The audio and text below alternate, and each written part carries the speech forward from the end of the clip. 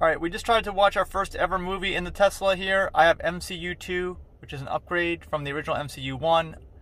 And it has the infotainment system, but uh, apparently the first time I tried to watch Amazon Prime videos, it doesn't work.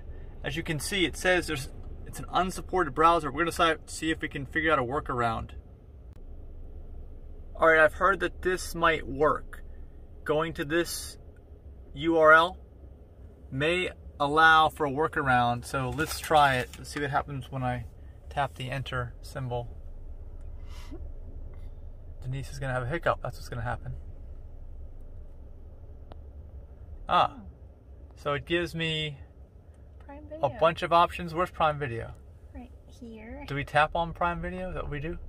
I guess Did you tap on it? Yeah, you can download it. Take the cookies. Wait, hold on. Accept accept cookies.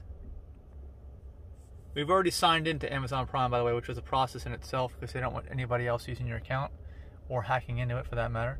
Oh, Now what? in. Now we just go to the movie. What we're gonna watch? The Knife or something like yeah, that? it looks like you gotta sign in again with that. Uh, hello, sign in. Yeah, I do have to sign in again, all over again. I asked it to remember, but um, it, it does remember if I sign in. All right, I've got to go through the same authentication process all over again. I guess it did install something on here, and I got to go through it again.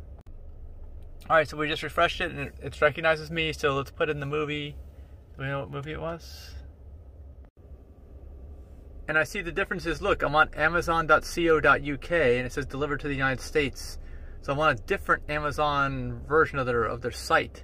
I guess I'm not in the United States now, right? Mm-hmm. So if I won't let it happen in the United States, I'm guessing, Yes, it will. You can go to a UK site and do Right. it won't let me watch the movies in the Tesla in the United States. So I have to log into another country's Amazon browser. I guess that's what we're doing. I've gone through your junk pile again. All right, that's it. Knives out. Yeah. So let's see if it lets us do this. And then I wonder if it's going to let us expand the screen too. Let's see. Oh, I have to pay? What? Mm. Wait a minute. Introducing Prime Video, Prime Video. Well, I thought so I I guess I don't have Prime Video in the UK. well, this is the 4K version. Maybe you can go back and go to the cheap version. No. There were multiple copies of this video. See, this one is different. Okay. Try that one. Did you tap it? Yes, I did. Rent. Hmm. Watch with stars. Alright. Hmm. I'm not sure if this is going to work. Alright, this still isn't working yet. Denise just brought up the fact that Elon Musk and Jeff Bezos are in a battle. So, and I have an Elon Musk versus Jeff Bezos uh, group on Facebook if you want to join that. There's over 5,000 members. Let me try to change the country. Maybe that fixes it, or maybe it completely destroys everything that I'm trying to do. Amazon UK. It says United Kingdom.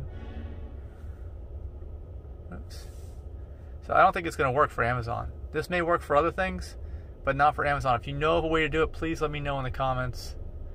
I want to go back to United States, and my guess is it'll say browser unsupported. And then when you're in the UK, it basically doesn't recognize my Prime subscription service. I guess it's only good in one country or something. Uh, what was it called again that we were on? Knives Out. Okay, let's put put that back. All right, so let's go to recently viewed. It's taking this good old time.